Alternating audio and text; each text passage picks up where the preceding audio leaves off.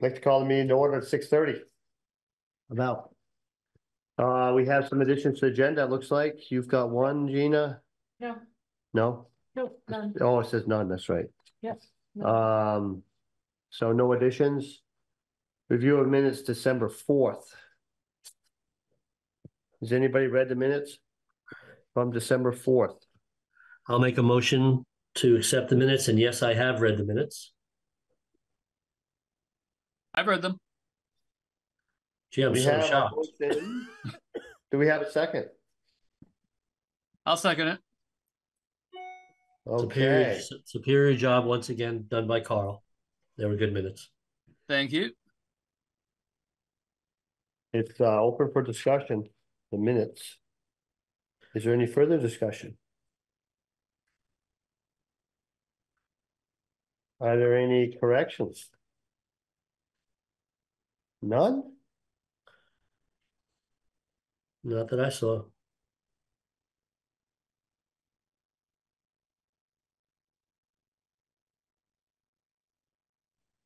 All's in favor, please say aye. Aye. I Aye. The ayes appear to have it, they do have it. Minutes are passed. Public comment. I see people on the Zoom. Are they members of public or are they here for specific purposes? I'm Sue Nobody saying Perry. I'm, Yeah. re- I'm representing Twin Valley Senior Center. Okay. All right. So no I'm, public a- comment. uh, I'm Amelia and I'm representing Washington Central Unified Union School District. Okay, I just wanted to confirm that um it that's on the agenda to Yes. discuss. I think it was at eight forty-five. Okay. Thank you. okay. So the first thing that we are going to discuss FY twenty twenty-five appropriation discussion, Kellogg Hubbard Library. Dan is on. Nobody's here? No, Good- Dan good is evening. on. Oh, Dan. Oh, you're from the library? Yes, hi. Okay, He Well, you is the got man. 15. from- He, he is the man. okay. We're, we're ready to listen to you for a Oh, certain great. amount of Glad I, time. glad I joined early. Thank you. Um, thank you so much for having us. Um, our, the East Montpelier representative on our board, Sarah Swift, um, is planning to join as well. She may be here closer to the six forty agenda time that we were told, but, um, happy to be here. Um, uh, we're grateful for, uh, the support of East Montpelier. Uh, we have really strong, um, support and uh, activity from East Montpelier. Um, as I'm sure you've experienced, we are, you know, dealing with the effects of inflationary pressures um, on our budget. So um, the biggest pieces are on our, our personnel costs um, and health insurance costs. So um, you may remember that we did not ask for an increase from East Montpelier last year. Um, but we are requesting an increase of just over five thousand dollars, um, five thousand one hundred ninety-six dollars, um, in the coming year. Um, that represents a twenty dollar per capita request, um, which is how the state uh, Department of Libraries um, sort of compares uh, municipal support for libraries across the state. Um, that compares to 55 our request to montpelier is $55 just so you're um, so you understand that um, and it's in line with what we're requesting from our other um, five towns that we serve um, so it's a request of uh, increase of $2 per capita and it's primarily results like i said health insurance and personnel costs so um, we signed a new union contract in um, march that has um, 15% uh, wage increases over three years. Those went into effect July 1st of this year. Um, so we'll, we're moving into the, we will be moving into the second year of that increase. Uh, in addition to those percentage increases, we set a new wage floor of $20 per hour for our staff. Um, you know, we're competing not just with other libraries across the state and across the region, um, but also with, you know, increased wages at employers all over the state. So um, and we have wonderful librarians who I'm sure you're all familiar with and um, want to support them. The other piece is that we received a 14% uh, increase on our health insurance premiums from our Blue Cross policy going into effect in January. So significant uh, increase there. Um, municipal funding is only about half, 52% of our total budget. So um, I like to say that we're really stretching your dollars um, through uh, draws from our endowment and private fundraising, which we've increased significantly over the years. Um, and the other thing I'll speak to is that um, we're not requesting any increase as a result of the flooding. But I'm sure, as you know, the library experienced about $1.4 million in damage due to the flooding in July. Um, and through uh, a combination of uh, insurance, private fundraising, and FEMA funds, we expect to emerge after the flood more resilient and, and better able to serve the community. So um, grateful for all the tremendous support that we've gotten from donors and others. And um, I'll stop there. I did submit the report to the town uh, that talks about some of the services that we've provided in East Montpelier, um, but I know you're all pretty familiar with the library. So um, if you have any questions, I'll stop and answer them now. Questions? Yes. Carl's got some. Um, then thanks, Dan, and um, w- welcome to your position. I think this is the first time you've come to us in, in this position. It's Uh, true. Yes, I started in uh, just in late June, so three Right. three weeks before the flood. Right, right. So, um, could you expand on what you said about emerging more resilient after the flood, thanks to insurance, FEMA, and private fundraising? What what does that mean, bottom line wise, or in other terms? So we are moving. Um, basically, the cost was a result of all of our building mechanical systems being located in the basement where they flooded. Um, all of those systems are getting moved. Um, the only one that's staying is our district heat, which is just because we'd have to replumb the entire building in order to move it. But um, we're planning to flood-proof that room. Um, and everything else, our air handlers, our uh, electric, uh, elevator con uh, controls, our building heat controls, uh, all of it is moving up out of the basement.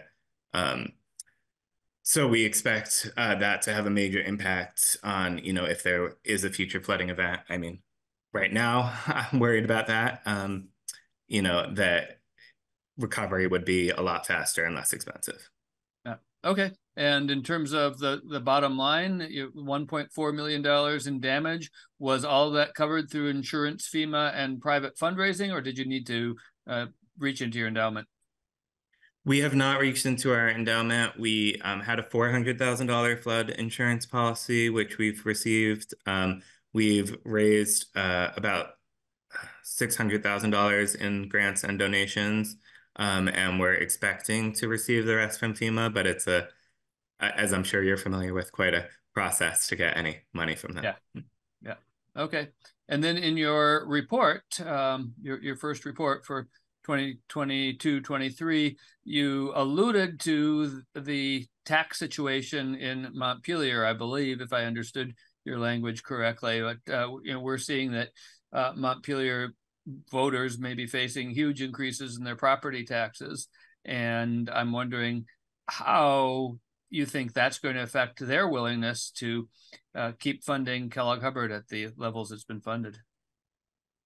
Um, well, we had the city council in Montpelier asked us to petition, um, and we collected uh, nearly 800 signatures in Montpelier, um, which I think is a testament to the support that we enjoy from Montpelier taxpayers. So um, I think they really, the flood gave us an opportunity to demonstrate our value as a, a community space in Montpelier and a necessary, you know, a place for people to to gather and connect and access information and public Wi-Fi available outside of the building and so on and so forth. Yeah. So um, I am cautiously optimistic that we'll uh, receive support. We are asking for you know a pretty sizable increase in Montpelier. It's similar percentage wise, but um, represents the larger dollar amount because Montpelier is our largest funder by far.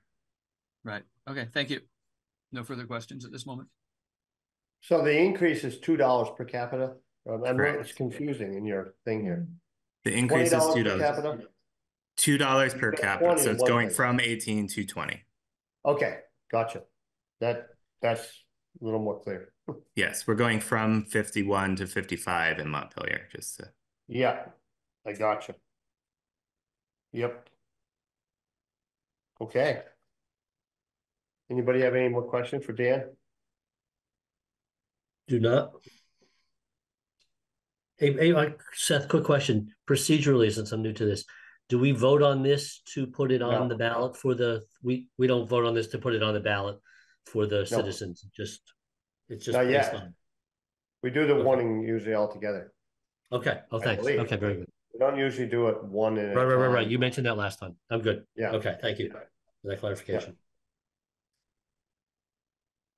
Anybody you, else Dan. have any questions?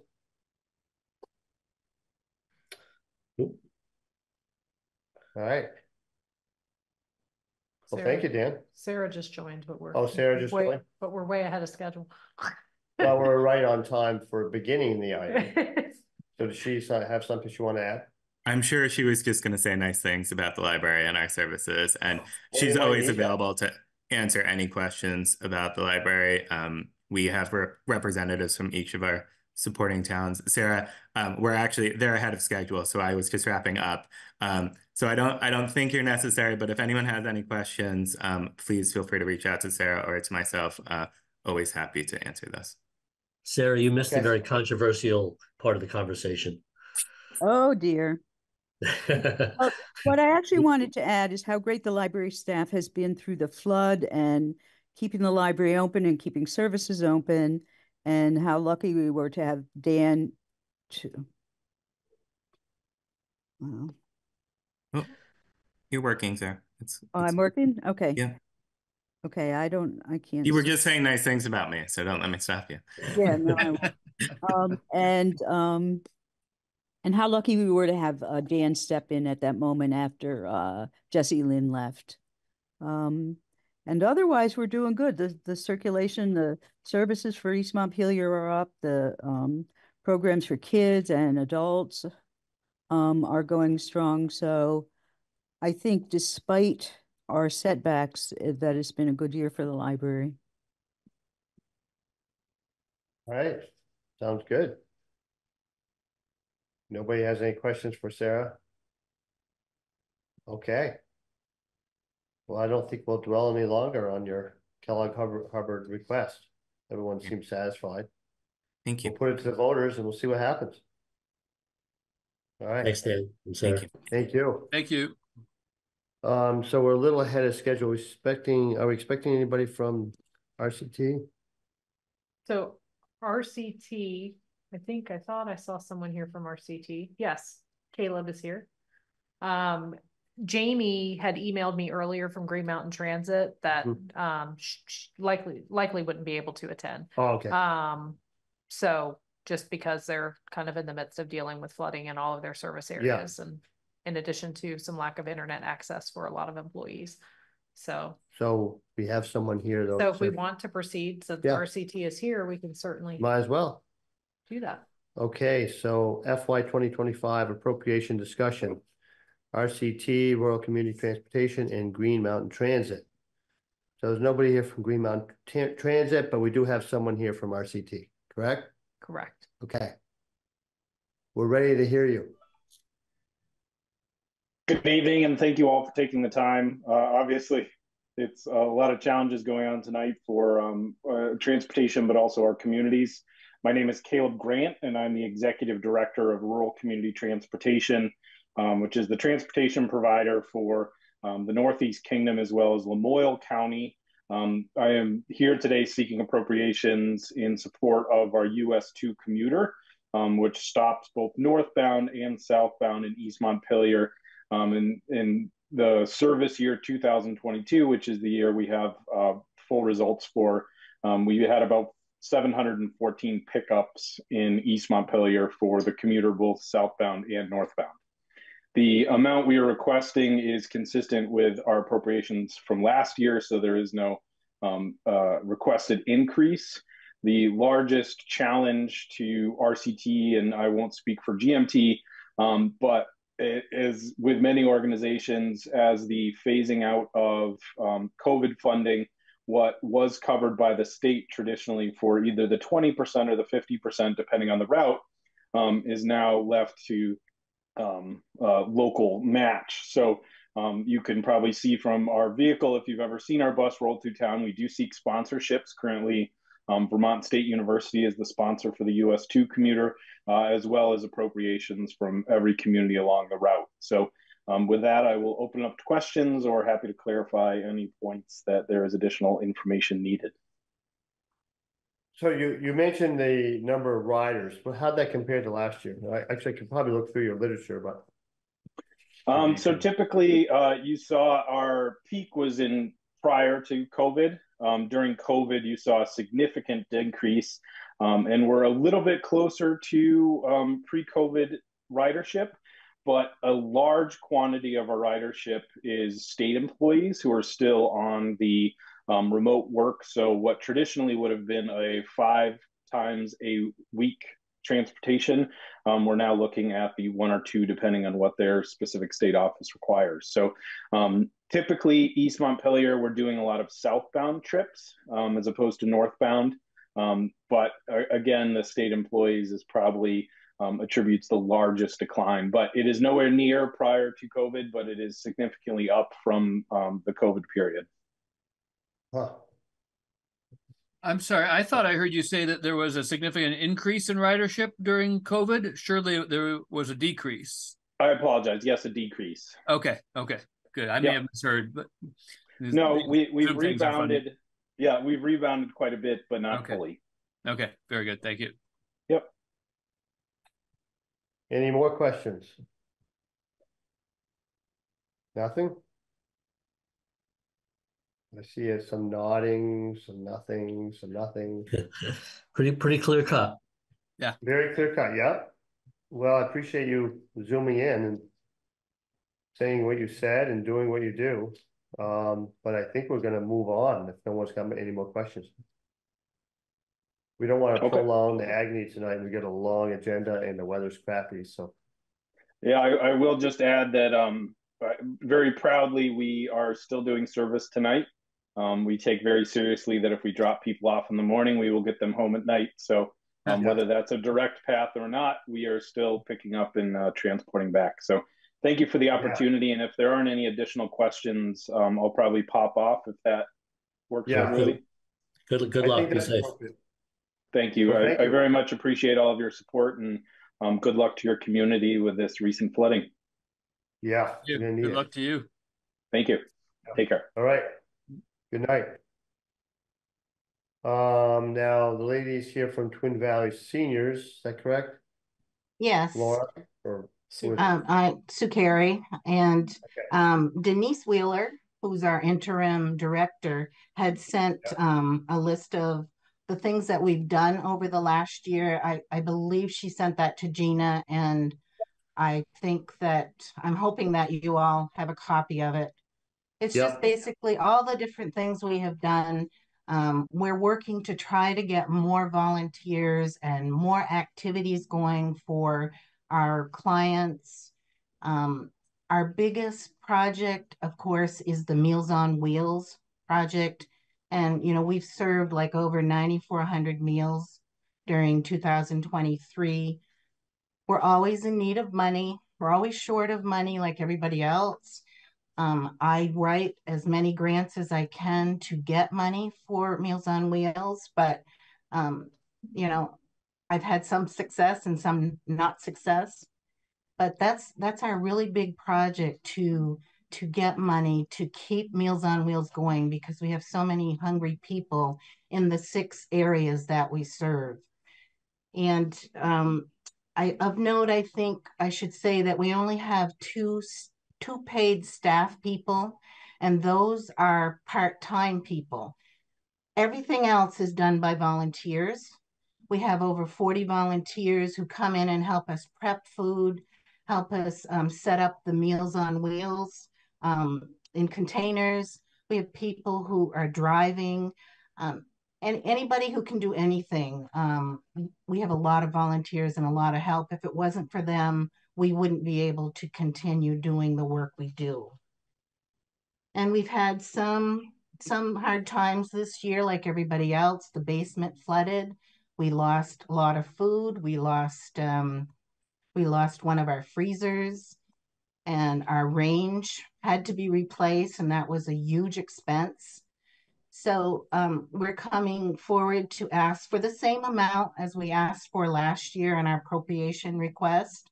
And um, we, I appreciate you letting me come on and talk to you. And if you have any questions, I'll be glad to try to answer them. Any questions?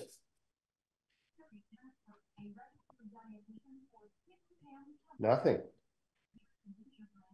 Nothing, nothing. There is a future discussion, Sue, about the, um, it's a request for the paving for Twin Valley. And I Yes, mentioned I- to Denise that that was gonna be later, so I'm not sure if you're gonna stick around for that discussion. I am, Okay, I, I just I'm wanted to going to mention- address that. okay, perfect, thank Okay. you. All right. Thank you for all you do, for your, your uh, stalwart of the community. Thank you for Yeah, Yeah. thank you very much. Thank you too. Yeah, dealing thank with you. your limited resources. Yeah, I can see your budget's not very big. It's like, whoa, you Yeah. do a lot with not much money, Right. for sure.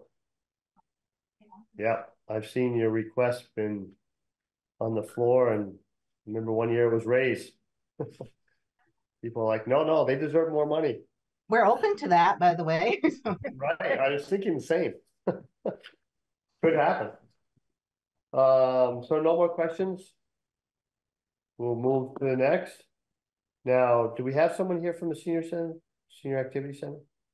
We expecting anybody? We may, yes, Matt Wilson, yes, will likely be here later, so I don't know if we wanna move on to other Yeah, items in the that's what I agenda think we and should come do. back, cause we're way ahead of We're schedule. way right ahead, now, but I'd like to stay ahead, so that means we'll shoehorn somebody else in that time, because we're ten to seven. if you wanna just pop down, since we do have someone from the school here, um. Yeah, we do. We could discuss the town meeting warning, cause the question there, why the school is here is about the mailing of the ballot, so.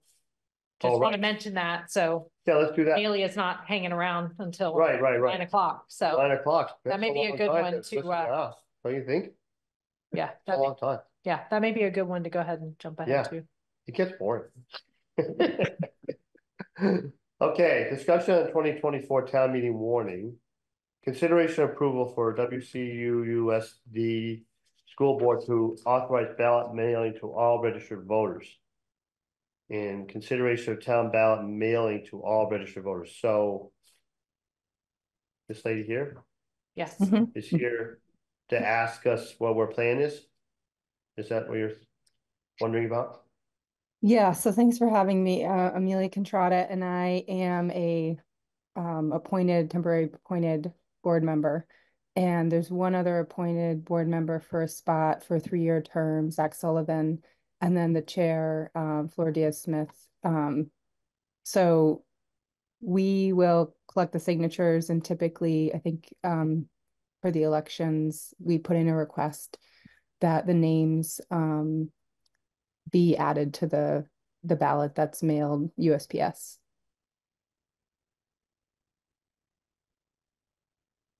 Okay. So we're. We haven't decided whether we're gonna mail ballots to all registered voters, but we have the last few years and we're probably gonna continue. I'm, I can't speak for the rest of the select board, but I'm in strong favor of doing that because we've had very, very good results. with This people part of the rest of the select board agrees. Sorry, I didn't mean to interrupt you. Yeah, I, I don't want to, uh, I'm not speaking for anybody, I'm just speaking for myself, but. I'm just telling you that it's, it's, uh, it's a really good approach to get voters to participate and I have heard no objection to it. So that's probably gonna be our plan. I think Carl concurred with that and Scott did. So we've got at least three members of the select board on board with, uh, mailing town ballots out. So didn't we usually put the two ballots together in the same envelope? That's Yep. right. So that's Yep. what we're probably gonna do the same thing. So. Is that, was that answering your question? Yes, it does. Great. Okay. Yeah.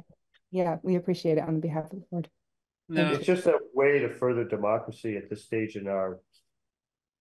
In our country that seems to work. And, you know, people don't think about voting like they used to, but when they have the ballot in front of them, they participate. So, it seems to work. Yeah, Amelia, are we in the same situation that we were last year where all five uh, school district towns need to approve the co-mailing of the ballots for that to happen? I believe there's a, there's a decision per town. I believe so. You, um, so I, I'm not sure the, I'm, maybe my question wasn't clear. Uh, can, can East Montpelier mail out the Washington Central ballots if one of the other four towns says, no, we don't want to do that in our town? That actually is, I can't answer that question. I'm not completely Okay. positive, um, but Flora Diaz Smith, um, I'm sure could answer that. I'm Yeah. sure she has that information. My understanding, um, no, I'm not even gonna go there. I don't want the wrong information, so Fair enough. it's a good question. Yeah, yeah, Okay. Yeah, that's a good question. yeah. That's the way it was last year, and I don't know whether anything has changed. Okay. They could say no way, right? And that would stop, that would stop that. So I know, I think that you're, I, I'm not gonna say for sure, but I believe that it, it, the process is a continuation only because I'm just realizing there was a request last meeting for everyone, um, at least one member from each town to attend the town meetings to make the request. And so it makes sense that if that was the strategy, then they're, they're trying to coordinate and make sure that everyone's on the same page. That's my, my educated guess. Mm -hmm. But you're talking about somebody attending town meeting and discussing it? To make the request so that all five towns could, Oh, the ba- the, Yeah. right, the names on the ballot in order for one, you know, yeah. If that's, if that's the case, then, um, maybe just to be extra clear, we should pass a motion to the effect of what we've agreed to. We So- want to have a motion now? Uh, I think so. D- does that seem in order? I have no idea. Does it hurt? It doesn't hurt. Doesn't hurt. Yeah, okay. It does not hurt, and then we're bound to it, you know, in our Yeah. minutes. So, guess- so I, I move then to, um, approve the co-mailing of East Montpelier town ballots and WS, WCUUSD school ballots to all registered voters for the March twenty twenty-four town and school meetings uh, at the expense of the town. I'll second that. Any further discussion? All those in favor, please say aye. I, Aye. The ayes do have it, appear to have it, they do have it, okay. I think we're good. thank you. Thank you for Okay. your tireless work. thanks for your work. Yeah, Thanks for thank popping you. by today.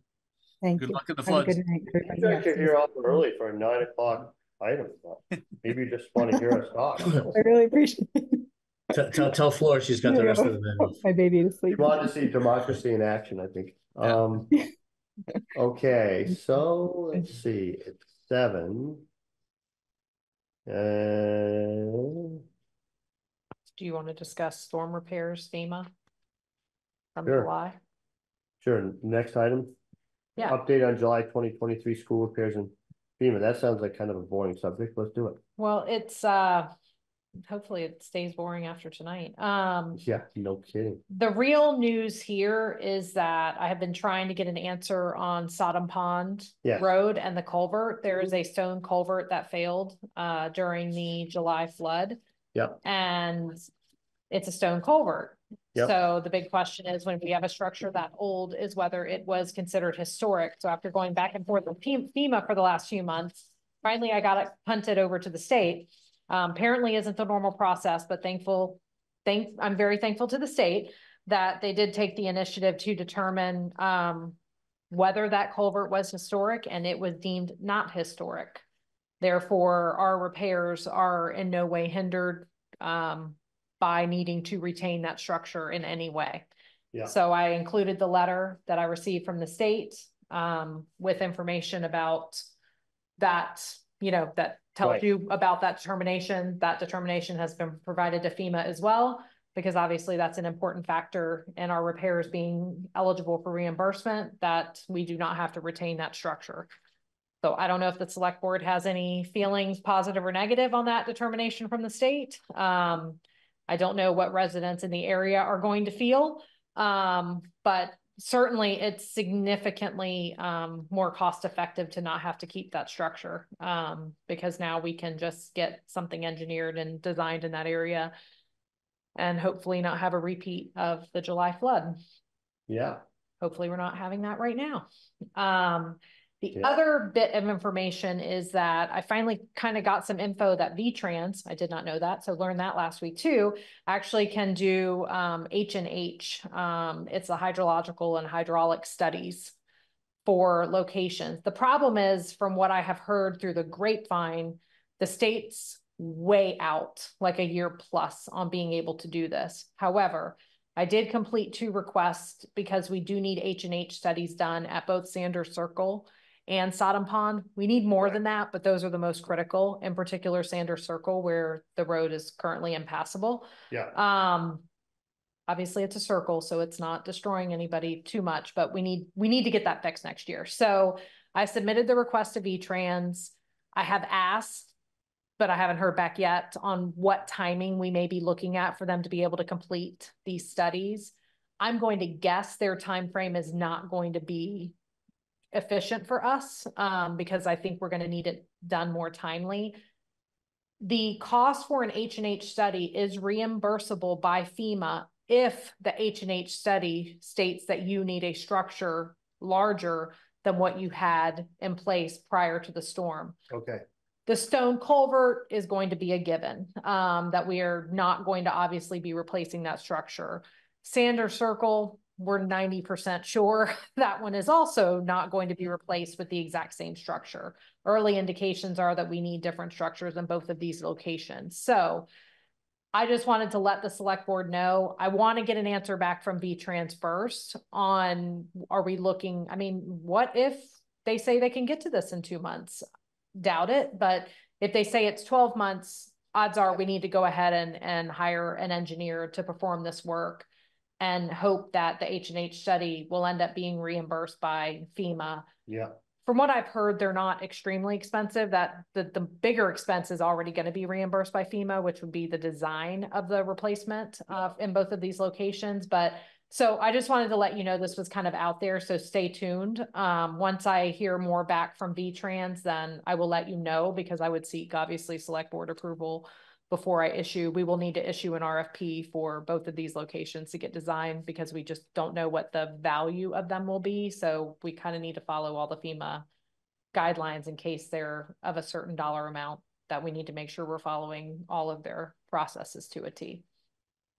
So that's the FEMA So you're the, gonna be on the state list for doing that. we're on the state list, correct? But I, I did tell Michelle Redmond, who is our, um, our district rep with V-Trans, that the timing Yeah. may mean that we need to, Yeah. to hire someone to do the work. Yeah. But I, I asked her to just let me know what they're looking at so that then we can make a decision on what we need to do. Yeah. But obviously, we need to repair Sanders Circle Yeah. next year, Yeah, so. yeah. Okay. So that is the storm repairs in FEMA. Question from Carl? Um, Yes. That? Question, please. Um, so Gina, I mean, th- this isn't your area of expertise, but in case you happen to glean any, um, any possible answer to this, how com, maybe it's just a rhetorical question, how complicated can it be to do a study to determine that a larger structure than what was previously installed is needed? I mean, it seems to me like you could check a couple boxes. Did a storm overwhelm the existing structure? Yes. Has God given us a promissory note that no such storm of such uh, magnitude will come again? No. Therefore, it needs to be replaced by a larger structure. Yeah, a lot of it is just the math of how, like, what is the acreage of water that's Yeah. feeding into the area? What's the flow of the water? So Right, I've seen some of these. Again, this is not gonna be our bigger expense. The bigger expense is going to be the actual design of the replacement and the engineering of that. From what I've heard, these are somewhere around twelve to fifteen hundred dollars-ish of your design expense, so we're not talking a significant amount of money here. So to your point, Carl, that kind of fits in that I don't think they're that difficult to do. But I'm sure the state has, has a significant backlog right now that we're, they're working through, so. Sure. And do you Even know? in speaking with FEMA, even our FEMA rep said to me, our risk is pretty low. That these would not be reimbursed by FEMA because. They, they should say that we need larger structures than what we have today. Yeah. Okay, and do you know whether uh, any output from the H and H study will be useful in the design? Will we get the specs? Oh, for- yes, it, Yep. it will dictate what size essentially needs to be there, yeah. Okay, so that's important. That's great. Thank you. Okay, so we're But is the still only- a little bit ahead. How Zoe about has a the question. tree Seth. management? What's that? Zoe Zoe has has a a question. question. Oh, okay. Not that important. I just was curious. Did, you- did you say that the H and H study was the only part that would be reimbursable? No, we would be reimbursed for the entire design. It's just if, if for some reason the H and H study came back, again, let's use Sodom Pond and said, we think you should put another stone culvert in there that's as small as you had in before. Not gonna happen. Um, FEMA would say, okay, we're not gonna reimburse that portion of your bill. That is the H and H study, but no, they re- would reimburse everything. The replacement, absolutely. Everything else is reimbursed. It's just the H and H study needs to state that you do need a different structure. Where they caution you on really doing these is if you have an area that's kind of always been a problem for you and you want to do a study to see what it is, well, that study could tell you that what you have is actually fine. You know, there could be other reasons causing that, causing an issue. So that's where you run the risk of doing them. Um, again, even our FEMA rep said to me, we're really not looking at any risk if we do end up hiring out to have this work done. It will be reimbursed by FEMA. But I still want to do my due diligence. You know, and at least see what I hear back from the state. I don't want to make an assumption yet until they definitively tell me. That we're looking at a year out to get those studies done, then obviously we need to probably make a different decision. Any more questions? Okay. Should we do the ash tree management grant application? Yeah. So really what this is, the Resilient Roads Committee, I happened to drive by them yesterday. They are out marking trees. Um, I think they were attempting to do some today as well. Um, so they're currently working on drafting two grant proposals to try to get funds for the current year ash tree management projects. Normally, I would bring you kind of a grant application for you all to review before I submit it. They're in the process of working. They're due January fifth. So this is the only meeting we have between now and then, so I'm kind of just getting a preemptive approval from you that when I do get these drafts from the Resilient Roads Committee, that I can submit these grant applications on behalf of the town. And hopefully we can secure some funding for our projects this year. Yeah. Yeah, And I don't even necessarily think Submit. you need a, a motion or anything for this. It's because I'll bring you the grant agreements if we Yeah. get them back, Right. that you'll have to authorize me to yeah. sign. Um, but as long as you're okay, I'll, I'll submit those applications, um, we're okay, as soon as I get info from them. we're okay. So, yeah, I told them I thought this would kind of be a no brainer, so. I think it's a no brainer, but you never know. You I- never know. You never know. Never assume. You may not want grant money for some Never reason. assume. No, it- there's a lot of brain in here. It's just, it's, it's an automatic. Yeah, Yeah. Uh, we're still significantly ahead of schedule, fifteen minutes. it's not a That's bad good. thing. No, That's great. what do we have to do that could be fairly quick? Town treasurer report? That's fairly quick, Sure. usually. Um, what do you have?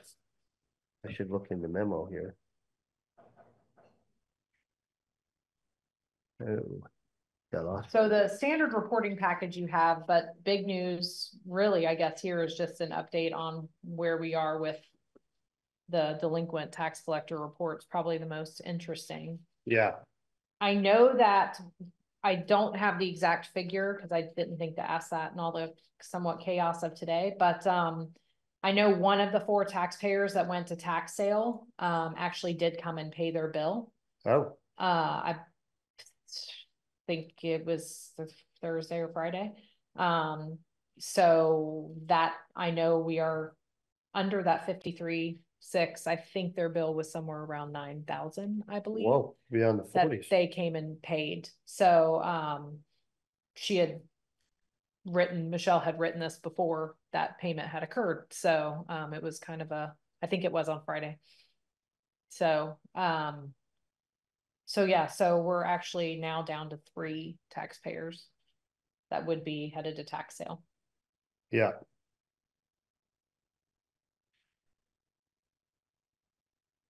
And a pretty low delinquent balance at this point. right. So, The current late balance is pretty comparable, actually. yeah, Yeah. yeah, The delinquency is good, that we're cutting that back. yeah. And then on the standard reporting package. Guess I've got, got overly that somewhere exciting. here. Nothing leaps out at us. No. Not yet. Is everyone perusing the multi-page document? Well, I haven't, oh, here we go. Accounts. You have it. I have it, I know. I just had to find it and see a paper. That's okay. No, perfect. I'm not complaining. I commented, but. Uh. So. What does everyone think about the town finances? Are you digging in here? Yeah, I, I read through 'em. Can I, my standing on my my normal um my normal issue. Can can we continue to invest some more money even in short-term instruments? Michelle can continue to because there there's still plenty of um cash that's just sitting that's that's not earning anything for maybe some some other uh, cash flow statements if we're if if that's a relevant um issue to mention at this point? Which one's got so Yeah. much cash in it? um, Checking? just the cash, just the cash. Yeah, I'm sure I'm having. It's harder to follow everything here. Um, we're just doing the town. You just your report, Gina, or we're or have we moved on to the treasurer's status report? Oh, no, this, all the treasurer stuff is from Michelle. Right. No, no, I understand. Is that is that a relevant conversation now? Or am I, am I Uh, Trying to jumping? how much cash is in the accounts that's not gaining interest, I think. Right. Am I, am I jumping ahead? Is that a relevant conversation now? You can, Yeah, go ahead. why not? Okay. Yeah, no, I, I understand that that's that's a Michelle issue, but um, I- I'm just wondering whether we can get a little more aggressive um with our uh with with turning some of the some of our cash into some interest bearing um investments, even if it's extremely short term, which it could be a week, a month. Anyway, that's just just looking at the uh at the accounts. Um, some of them are are certainly earning, but there's you know there's apparently a million to two ninety five thousand um, that are not interest bearing still, The if I'm reading it correctly. Uh, special accounts, um, yeah, capital reserve fund, exactly. Yeah, I mean, that doesn't look like there's any interest happening there. Well, they're included in the town checking. Oh, they're in Oh. the town checking. Oh, that's Yeah. just broken down. I That's not apologize. Okay. incremental funds. Okay, thank, thank you for that clarification. Okay, then I, then I withdraw my, um, then my question or concern. She's on top of it. Okay, so looking through. What do we have that's a red flag, so to speak? Or green flags. A green flag usually means go. I mean, we're, we're talking, you know, like Yeah. vanilla and chocolate. I know, strawberry. Red flag generally means something that could cause alarm. Correct? Black and red. A green flag means let's get going. That's that's positive. That means an up market, not a down market. Okay. Okay. So I don't see anything too alarming. Gina's right on top of it. I think if there was, I looked through it also, and if I think if there was something that was alarming, Oh, so you're just-. So you're not, you're not dissecting this, you're letting other people. No, no, no, no. No, I did read Oh. through it. I did. Okay, you did, I, I, I did my due diligence, my fiduciary responsibility as a select board person. okay, okay.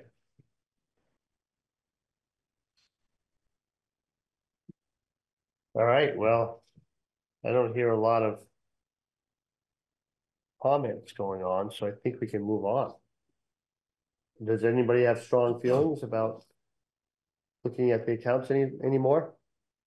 I, I, I just have a procedural question, and I guess Oh, it's good. Gina and Seth, and what, so Yeah. when do we really start to get um really into the the nitty gritty for the fiscal um July first adoption? Uh, well, obviously, it's got to be it's put in front of the voters, so it's going to be next month. We're going to be presenting Yeah. the kind of final to budget ish. Yeah, yeah, we have to have stuff approved by about the twentieth of January. Mm-hmm. That goes in the Okay, so town. the report. next within the next two meetings, we'll have to Yes. approve a budget. Okay, thank you. Yeah. Yeah, Okay, thanks for that clarification. Be Yeah. ready for a possible extra meeting in January as part of that process. there's Okay. no guarantee we will have an extra meeting.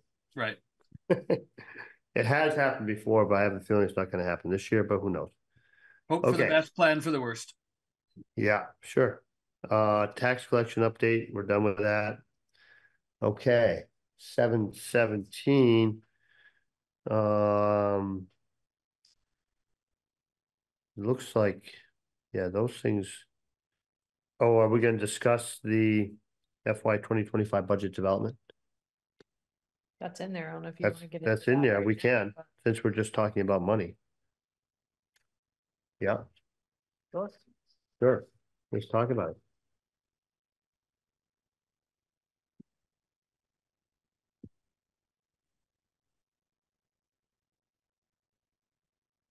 That the same packet or no?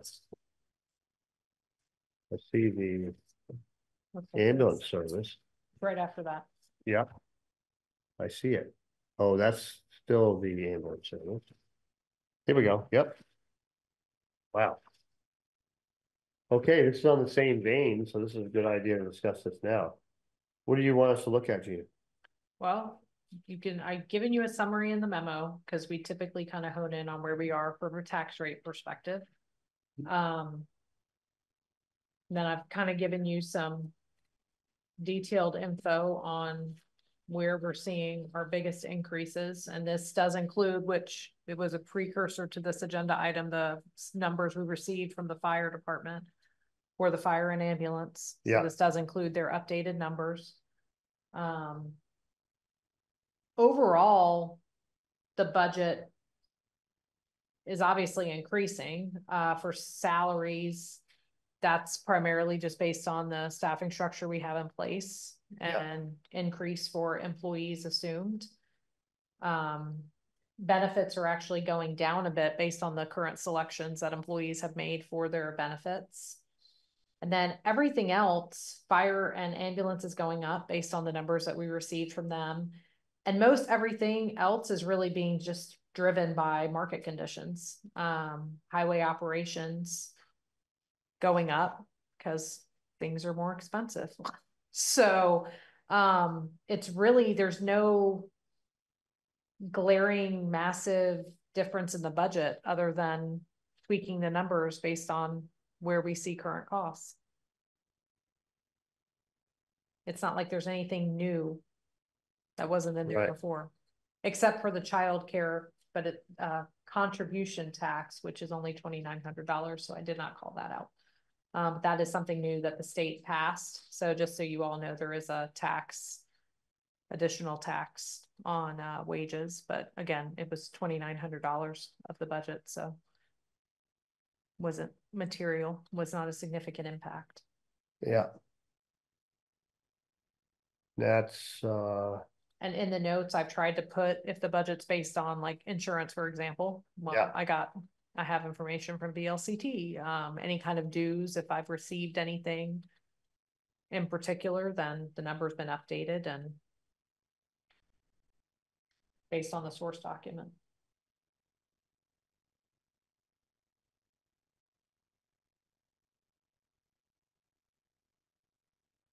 Okay.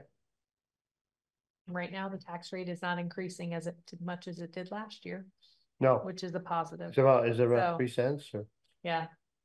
Yeah. Three point six cents. three point six? Yeah. Yeah. No, that's not horrible. And of course, this is something I look at like every other day right now. Yeah, yeah. So, No, I get it. As information trickles in, or Yeah. I just give it a fresh set of eyes Yeah, after not looking at it for a day or so. yeah. Any questions for Gina? No, pretty, I, I did look, I did scrub through it, it's pretty straightforward, I mean, it kind of is what it is, right? Yeah, Is, uh, well, it's helpful. She broke out those, oh, no, very, it's really very interesting, actually, thank you. yeah, I, depressingly so. I, I geekily, I geekily, geekily enjoyed reading it. It could be worse. Oh, yeah. So the ambulance service is twelve point seven percent you've got. And the fire department is five point one. Yeah, those are the numbers they get correct. Yeah. The percents you see in your memo are based on the impact of the Yeah. total budget, not Yeah. each individual line item. Right, right, right. But yeah, I've pulled the numbers they gave us in here and Yeah, obviously the agenda item preceding this was. You have all those reports as well here for. Yeah. Any resident that would like to see that as well. right. Hmm. I mean, the ambulance service has gone up. Double digits, I think, every year for years. But I'm not hundred percent sure of that, but I'm pretty sure of it. Is that your impression, Gina? Yeah, it, it, I mean, I've only been here, this is my second budget cycle, but certainly has been. Pretty big jump. for the Every two year. Years I've been here. It does concern me a lot. That's another item to discuss later. I see we've got that, it's a separate item. Well, we Yeah, and obviously I've rolled their number into the Yeah, I budget know. right now, but that's, I get it. that's up I- to the select board what number goes into the budget, so. I Right, just but, put their number in for now, but. Yeah, that'll yeah, Be a discussion for course. you all to have. of course. Yeah, I'd like to hear some Okay. explanation on that when, when appropriate. Any, any more questions? I have a question. Can you hear me? This is Deb. Yeah, You can hear me? Okay, great. I'm having trouble with my Zoom, so I'm on the phone and on my laptop. I don't know where you're hearing me, but um, under total tax related charges in the revenues part, under the uh, at the beginning of the second page, page two of eight. Land use change tax, $2,000 collected this year. I believe that should be up underneath reimbursements because it's in the category of the current use hold harmless, the state equalization reimbursement. Actually, the state equalization reimbursement is a better example of something that's equivalent in the sense that the current use hold harmless is what the state gives to the town to make up for the reduction in taxes, town taxes that is um, related to people being in the current use program. mm-hmm, The state equalization reimbursement line is what the state actually sends to the town to help reimburse for the listers' time spent on the equalization study every year. That's a dollar per parcel, so that's at twelve hundred and forty-eight. And the one that's down below, which I believe belongs up here with reimbursements, that land use change tax. The, the, if you, if someone who's in the current use program withdraws some portion of their property or their entire property from the land use program from current use, the listers um, are being reimbursed for the time they spend administering that program with the state. We do a lot of work on it at our end. Whenever they collect a tax, this happens only when somebody pulls out of the program. And there's a penalty when they develop the land or sell it or do whatever they do with it. We're, we're allowed, the town is given up to 10% of the tax that the state collects as a reimbursement for the time that the listers spend on the current use program. So that $2,000 is really a reimbursement, the same way that the state equalization is a reimbursement for the time that we spend on the state equalization study every year. We've got another one of these coming up. We're going to get another $2,000 this year, I believe, again. Deb, I can look at withdrew. account, what account that is, but the two thousand you're talking about was actually an actual number. Um, so I could make Yeah. sure that Yeah. in the series of accounts I'm pulling into this bucket. Um, where that account is statused.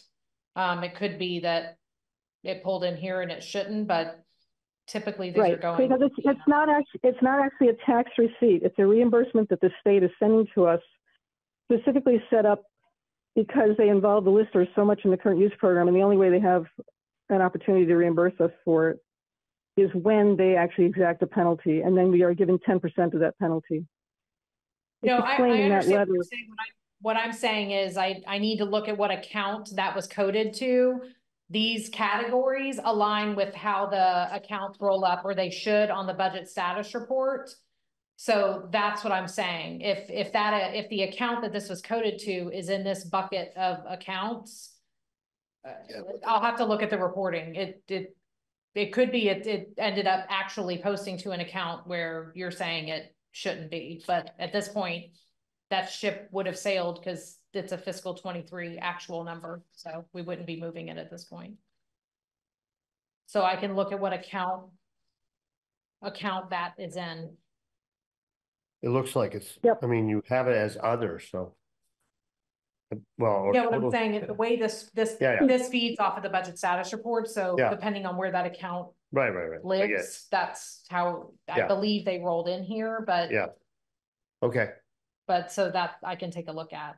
Yeah. So what my point is, is if that's the account it's in and that's where that account is classified in our budget status report, I'm not gonna move that Yeah, actual fine. number. We can't move that. at this- I got it. Yeah. Any other questions? Or comments? Okay. So I'm gonna put that aside. And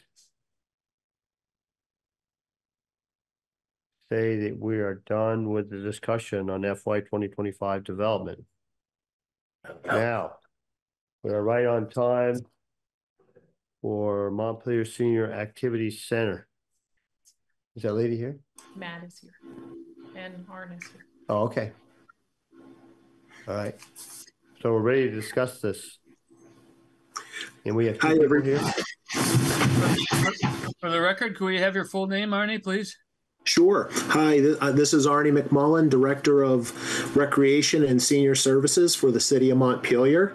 Nice to see everybody tonight. Good to see you. Thank you. Did, did, do, did you all get a copy of the PowerPoint presentation? Uh, I guess so. I'm not sure. Yeah, I have a copy. Yep. Yep. We have a copy. Perfect. Sorry, somehow I muted myself. Um, so I'll go through the I'll go through the PowerPoint presentation to share a little bit of information in regards to what the senior center is about and you know the the folks we serve, um, for, especially for anybody who may be be new to your board. Um, but it's uh it's quite an active place and and a lot and the seniors seem to really love it. So a little bit about MSAC is it's a place for lifelong learning, healthy aging, socialization, nutritious community, meals, and mm. access to resources on aging in the region. MSAC serves the city of Montpelier as well as our surrounding towns, including East Montpelier, Barre Town, Berlin, Calais, Middlesex, Moretown, Northfield, Plainfield, Roxbury, and Worcester. Our dynamic senior center provides a third space for retirees, working older adults, and adults in need of socialization, socialization and connection, which is especially true since COVID had hit and people were so isolated for so long. Um, classes designed for all ages of older adults. MSAC provides programming that reaches seniors of all age groups from 50 to 90 plus. Bone Builders, pictured to the right, is one of the most popular classes with four dedicated instructors teaching hundreds of the members each semester. With we offer classes in arts and humanities, fitness, and active living and wellness. We look to the needs of our members to ensure great experiences. Affordable and accessible programming. MSAC members and the public use our space in a variety of ways. For example, coffee and conversation meets every Monday morning to discuss wide ranging topics in a comfortable setting. We offer over a dozen of these drop-in groups each semester. It is our commitment to take care of the older adults in our region, whether they are, are, are a paying member or not. Another area is building long lasting friendships. What makes our senior center stand out are the connections we make amongst our membership and community partners. Staff work directly with our members every day and participate in each in their activities, such as our potluck lunch shown above. Of several great partnerships, our Feast Senior Meals program hosts volunteers from Montpelier High School and students work in a commercial kitchen setting, which promotes career building and connections with our senior members. Feast Senior Meals, uh, providing healthy catered meals to our members. Feast Senior Meal serves more than just meals on wheels. Feast is a nutritional resource for the whole community. They offer a farm stand, which has served over 50 adults each week since September 2023. Feast offers access to nutritional guidance and support through our partnerships. They are also host special events such as Bernie Sanders Town Hall back in June. Creativity and engagement. a cornerstone of healthy aging and staying engaged is using one's mind in new ways. MSAC supports creative outlets with classes and programs designed to stimulate the mind and foster genuine expression. Among the several art classes we offer, we also have we also have tabletop weekly tabletop games, um, host art shows and community events like our upcoming Puzzle Palooza, and curate a small but thriving library of books, puzzles, DVDs, and magazines. Exploring New England. One of the things that's exciting about MSAC is um, MSAC holds several chips annually and popular attractions in Vermont, New Hampshire. Um, MSAC also acquired, I'm going to update this, a 12 passenger van in the past year, which has opened the doors to new activities locally and bring in more members on trips. The van is also really nice because it does have a lift, so it's accessible. So we can get anybody um, anybody to be able to move around easily. Mobility is another crucial piece to healthy aging, and we look for trips that are not only fun but accessible to seniors of all ages. Um, a place for healthy aging, despite set, setbacks from the COVID pandemic and 2023 flood, MSAC continues to serve the older adults of Montpelier and surrounding adults with high quality and affordable programming. In 2024, we are looking to hire a program and membership director, which will boost our ability to serve our membership and provide more value to the community. so, with that being said, we're on the in the process. I was hoping to be at the meeting tonight, um, but with the amount of flooding that we've taken on today, one of the roads that I normally am able to get home on was actually underwater, so I had to had to take the interstate just to get home. Um, but the Montpelier activity, um, okay, let me just step back here. So MSAC ap- appreciates the support of East Montpelier voters and residents, and we look forward to serving more of you in the coming year. We recognize the importance of other area resources for aging Vermonters to your residents and believe in working collaboratively with fellow senior centers and agencies to provide the best support. Due to inflationary and optional operational costs and our continued commitment to offering high quality services and programming, the Montpelier Senior Activity Center respectfully requests level funding of $9,700 for our annual appropriation request to your voters for the fiscal year 2025. We thank you and for your consideration of this request. and we're and the city of Montpelier is still working on our budget because we're in the process of still crunching numbers, as most towns probably are, due to all the uh, damages from the July flood and other challenges that we've been facing with the multiple of damages that happened to the city um, from the past summer flood. So if anybody has any questions, um, happy to answer.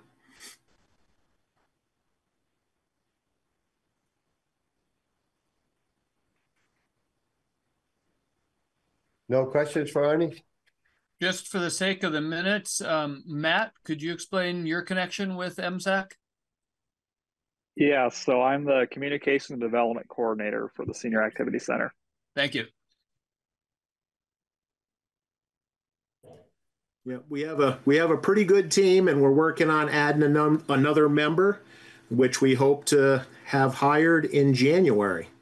So that's the program and membership director. So Oh, right, I see that's vacant, yeah.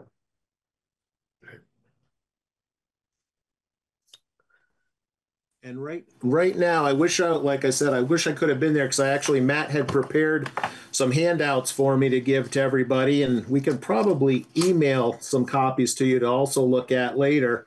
Um, in regards to the you know the types of programs and how many programs we offer. Right now, this semester for the winter, I believe we're we're right around 50 plus or minus programs that we're offering to the senior community. Well, You guys are pretty valuable. I used to sit on your finance committee. so Okay. Pretty well aware, and I've been a, I've been a member too for years. Yeah. Thank you for It's your work. wonderful, yeah, it's a wonderful facility. And for those of you who know, who may or may not know, this is my first year at the helm of the senior center. Um, so it's also new to me, but I also been involved with recreation for those of you who may have had kids in youth sports and everything for the last 30 years. So I've been around Montpelier now for a pretty long time. Thank you. Well, thank you for zooming in. Um, does anybody have any more questions? Pretty, No. pretty straightforward, Yeah. Thank you both. and the, Thank thank you for your level, thank you for your level funding request. Oh, Yeah, Well, thank you thank for you for enter, thank you for entertaining us and uh, allowing us to uh, speak at your select board. I appreciate it. all right, Yes, thank you. all right. You were more entertaining for us than we probably were for you. it was all good. I was I was looking at your at your agenda and I said, "Holy cow, that's a busy agenda." And when I got on, I saw you were all the way down to you know the ash management. I said, "Oh no, they missed me." No, no, we, we circled around you and came back. Just No, to make that's sure that gave you the right time. Yep, Um, no, perfect. but if there's nothing else for this gentleman or these two gentlemen, we can move on to the next, um, item. Can I just make one comment? Sure. Um, Denise Wheeler is now on Zoom and she is our interim director at Twin Valley Senior Center. And I kind of just tried to fill in for her because she was expecting to be on at seven ten. Um, she might have some other um thoughts that she wants to let the Okay. select board know about. Okay, so let's, I think we're done with the Montpelier Senior Activity Center. Okay, thank you. And now. Thank you very much. Thank you. Now we've got to circle back, I guess, to Twin Valley. Is that what you're Hello. saying? We can. How are you? Hi, Denise. How you doing? Everybody good? Nobody got flooded yet? Pretty we wild could. out there. Pretty wild. It stopped raining now. So Yeah. I'm not sure, um, thank you, Sue, for being in there. Um, I'm not sure what Sue said, but you know, we're a we're a very small, way smaller than Montpelier um senior center. And we serve the towns of Marshfield, Plainfield, Cabot, Calais, Woodbury, East Montpelier, and a portion of Montpelier now. Um, our annual operating budget is roughly two hundred and fifty thousand dollars, and a lot of that two hundred fifty thousand dollars we do by fundraising, um, and asking the towns for appropriations. Uh, we do not charge a membership fee, which most, I guess, other centers do. Um, we I sent um, a list. I don't know if you all got it. I sent a list of what we've been up to in 2023. Did, did the board Yeah. members get that list? Yeah, we saw that. Okay, Yeah, good. we've- I mean, we do a lot for such a small organization. We have the equivalent of about two, two and a half staff members, and everything else is done by volunteers and board members. So we, Yeah. we do an, we do a lot for such a small organization. Our um, appropriation request is the same as last year, six thousand dollars. Um, Yeah. so hopefully you had a chance to look at the list to see how many things we do, and our mission um, in, is to facilitate the social, emotional, and physical well-being of independent citizens in our service area by providing access to community resources, services, and activities that maintain the independence and wellness of all citizens, helping them remain in their communities. And what I've learned in my time doing this is that not only does food provide for good physical health, but it also provides for emotional health. If you're at home alone, nobody's around day after day, sometimes the only person these folks see is the person delivering the meal. And our drivers oftentimes come back and say, Oh, so and so was really talkative today. Um, because that's the only person they see in person to talk to. So we provide a lot of um, emotional support to folks. The folks that come into the center come in to play cards, socialize, work on puzzles, um, and we're always looking for creative and new opportunities for the services that we provide. Um, one of the things that I forgot to put on the list that I sent out was that we also have um, free tax clinics for anybody that wants to come in. Um, AARP holds the clinics, um, and they're free to anyone that comes in to have their taxes done. Yeah, you, you listed, you listed that on your, on the letter, on the, it's listed. I did. Yeah. Oh, Yep. okay. Well, good on me. I thought I didn't.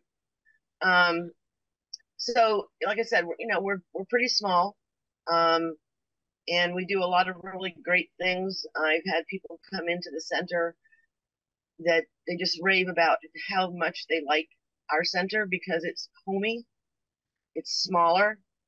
You know, they feel like they get a lot more personal one-on-one attention.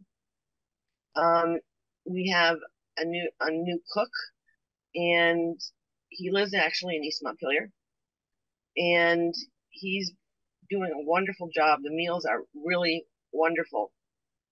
They're you know they all all the meals that we serve have to be pro- approved by a Central Vermont Council on Aging dietitian. So they're all healthy and within different guidelines. We also provide a lot of meals to our homebound folks that have special dietary needs, soft foods, diabetes, um, you know, things like that, illnesses that people have. We try to provide meals that meet those nutritional guidelines that they have to follow.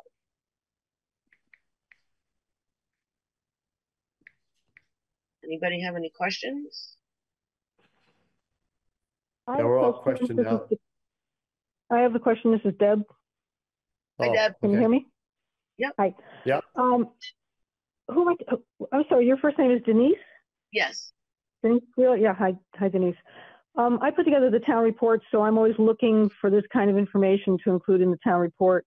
And I will probably be contacting you about putting together your page and what kind of stuff you want to include on it. I was just wondering if you have a breakdown of how many of these Meals on Wheels are for people in East Montpelier specifically. Um, we can we can get that to you. Okay. it's nice when you can, you know, can point to exactly what is happening in our towns. Um, I don't know if, I don't know if Montpelier Senior Center, I should have asked when he was on, whether he has that kind of a breakdown too, in terms of how many people in East Montpelier specifically are using the Montpelier Senior Center, but you're the ones that are providing all the Meals on Wheels for our town, right? Right. And it looks like also for part of Montpelier now too. Yep, yep. Montpelier got overwhelmed, and um, the Council on Aging asked us to take on a portion of Montpelier, which is has worked out well. You know, we we serve for a small group. We we serve not over nine thousand four hundred meals a year. That's a lot of Mhm. meals. And does that come out of your operating budget or is that like a completely standalone separate program? Well, I can I can send you a breakdown of how much it costs us to prepare a meal. Sorry, when I we seem to have a smoke detector that's having issues tonight, it keeps going off. I can send you a breakdown of what it costs us to prepare a meal.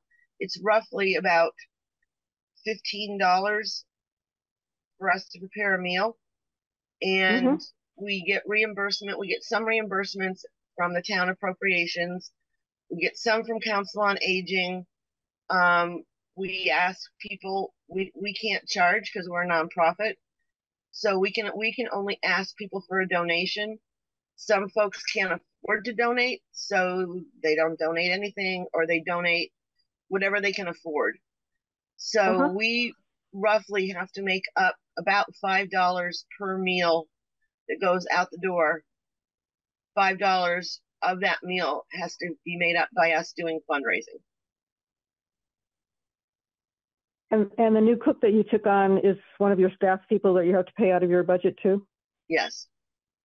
hmm Okay, thank you. Uh, we'll be in touch again. I just was curious about that. Thank you. Yeah, you're welcome. So while you're there, we'd like to move on to the ARPA fund request, because we had some questions about the paving request from Twin Valley. Yeah. Now, before you, can I ask a question before you go there? The ARPA funds, if you are generous enough to give us some of your funding, um, do you, do we have to spend it? I think it's by the, is it the end of the summer or beginning of fall of next year? Isn't that when you have to? Hand- I think that we have to spend it, but they don't have to spend it. Correct. We don't Yeah, have, we okay, have to that's. what we- spend it, which is, Okay, that's what we we wondered. if give we it to didn't get you, the- we've spent it. yeah. Okay, so, and do we have to do any kind of accounting for that? Mm-mm. No. Um, well, let's Well- hope you do some accounting of it. No, I mean, to back, Are you- back to you not or the back gov- to the, Not to the US government, no. okay, Yeah, and Um, hopefully you are not gonna take the money and s- buy a new car. Is Well, that what you're maybe. maybe that's I'll buy I'm a, wondering. maybe I'll buy a Corvette convertible to drive some of the folks around. That's what I'm wondering why you're asking that question. Well, because I thought, because I thought that the money had, that you had to divvy out the money by a certain date. Yeah, we do, but you're a we- recipient of the money. We're Right. giving you the money. We're taking care of the accounting. Okay, so my question was, if you don't give us the full amount that we asked for, we could then put Yeah. it in an account and try to fundraise to get the additional funding that we need. Exactly. That's kind of what we're, Okay, one of the questions we had for you. Was are you gonna be able to come up, I mean. We're probably not gonna give you the fifty thousand bucks, or whatever it is. But we may give you some money, because we think it's a worthy cause. So then what's gonna happen to the money that we give you? Are you gonna be able to do the project? well, another thought we had, I mean, if you could have seen the parking lot this morning, it was a sheet of ice. And there's no way anybody in a wheelchair or a walker could safely enter. So one of the other options that we thought of was we could ask, we could pave pave the um handicap parking spaces and the ramp area. So that you folks, so that the the bus, is gonna help the ice problem? well, yeah, because then they can actually, we can actually put something on it to melt the ice or make the traction better. Right now, it's just big. I don't know, you guys must have seen the center. The parking lot right now is full of like potholes and lumps and Yeah. bumps. Not So the anymore. ice builds up in these lumps and bumps. And even with the plow, they can't do it. We did have um our plow person come in sand, which was which helped. But having a nice park parking lot that's all paved would be such a such a wonderful thing. Um, Yeah. right now people have to park, you know, and miss potholes and big puddles of Right. water. Yeah. Yeah, but I, I don't question the worthiness of the cause. We're just wondering if we don't give you all the money, how you gonna get the rest of it, or are you just gonna pave half of it, is kind of what you just said. Like if we, Right. say we just gave you twenty-five thousand, you're gonna just do part of it. Until you Well, get the we, rest I of the money? the board, the, well, the board would have to discuss that, whether we do part of it or whether we want to do a special fundraising campaign, Yeah, you know, to Right. help pay for the other part of the parking lot. yeah. So those, those So- would be our options. Yeah. So the money that we give you could go into an account marked paving. And Right. eventually you would use it. Right. And that's why I Right, okay. asked if we had to spend it by a certain time. No, you don't, you do not have to. But, Okay. Yeah. I mean, everyone on the board thinks, I think, that this is a worthy use of the money. But we were just concerned that we, if we don't give you all the money, what's gonna happen to it? Are you just Yeah, gonna well- be done? Yeah, but you've answered my question. Yeah, I mean, it, it would make it harder, obviously, for us to do it, the full parking lot. Well, well, we- excuse me, Seth, we were originally told that if, if we did not give the whole fifty thousand, then the project would not be able to be, con- uh, would not be able to take place. I Yeah, don't that know was that, kind of our, I don't know when that was said. well, that's okay. You're, it sounds like you're coming up with a different plan. That if we don't give you the full funding, you could still use it. It might not just happen tomorrow, or you could just do half of it or something. Is that correct? Right, right. Okay, all right. Could I just make a couple of comments about um this paving project? Sure. Um, so most grants that we write, they're for fairly small amounts and they're basically for, you know, food. We're we're asking money for food. It's hard to find a grant that would cover, you know, fifty thousand dollars to cover the paving for our driveway. And in Yeah. the last year and a half, we've tried four different times to get some monies to get this uh, project going. Um, for Yeah. instance, we we um, applied to the Human Services Grant to the state of Vermont, but because they required gap funding of that for fifty percent of the amount that we needed to for, for paving, they wouldn't give us anything because we would have to show them up front that we had the Yeah. twenty thousand or the twenty-five thousand in our budget, which we did not have. So, um, and another, um, grant we tried for was the Home and Community-Based Services through the Agency of Human Services, State of Vermont. And I did work with the Council on Aging to try to get some help for this. But unfortunately, because we didn't have a specific Medicaid provider ID certification, um, they would not consider us for the application for the infrastructure improvements. And others, we, we went through the congressionally directed spending account. Um, and, um, because we were outside of the US Census determined area to be eligible for this funding, we were not allowed to apply. If we had been in the area closer to, say, um, Dudley's or the town clerk's office, we would have been in that specific US Census area and we would have been able to apply and had a good chance to get funding for paving.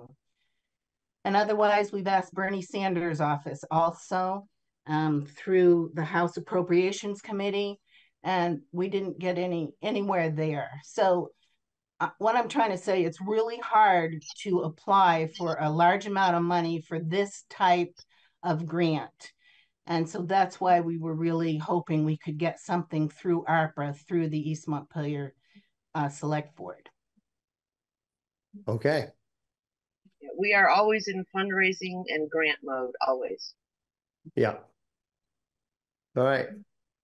Anybody have any questions for Laura or Denise or Sue, Sue? Who? Sue or Denise. Sue or Denise? Can, do you have any idea when you would be able to let us know? Oh, we'll probably have another meeting or two on it, Okay, or we're not making a decision tonight, I don't think. Or are we? okay. That's up to the select I don't know. We're soon. Okay. Well, Okay. very good. Thank you for your time. Happy holidays. Merry Christmas. Yeah, thank you. Same to you. Um. Okay, so there's other. Um, items to discuss on the use of the ARPA, ARPA money. there's the all together now request, there's a request for the trails, and there's a request for the historical society, or was that the other place up there? Mhm. You got them all. Yeah. Yep, so what is everyone, we talked about this at the last meeting. Um, and we didn't come up with any conclusions. Has anyone thought about this? I mean, the altogether now, I think has been problematic. Carl discussed some of the problems. Um, so I'm not quite sure where we are on that. Does anybody else have any thoughts? Wh- Which did you want to talk about now? All together now. Okay. Yeah, I mean, I've raised questions and so I've, I've put my finger on, on problems. Uh, but I think altogether now is an East Montpelier based nonprofit and that we can address some of the issues that the spending is actually going to be done by another organization that owns a house uh, rather than by the nonprofit, but the nonprofit is a tenant. I think that if uh, we can get them to show, um, Janice to show that she's extended the long-term lease for all together now in the house by 10 years, which she said at the previous meeting that she's agreeable to do, that um, we can uh, we can and, and just looking at the commitment of everybody living in the area and having part ownership of of the house uh, to the work that all together now does um, i'm comfortable devoting some portion of the funds to giving to all together now So, so was it clear, Carl, that they would be, able to open the preschool again, or is this just on the housing? They're just working so with the, the housing. now? preschool takes place in the in the farmhouse so I know, but I'm not sure that's gonna be back, back in business. Were you, were you clear on that? Um, I I thought that they were working to remedy all the issues that the fire uh, state fire inspector brought to them with the idea that they could go back into business, but maybe I didn't specifically ask that. Uh-huh. Eh, I mean, I've heard them talking, but it sounded like they were just talking about the affordable housing aspect of the building. And I didn't hear anything about preschool, so. That was a question I had. We could, we Um, could ask for clarification of that. Absolutely.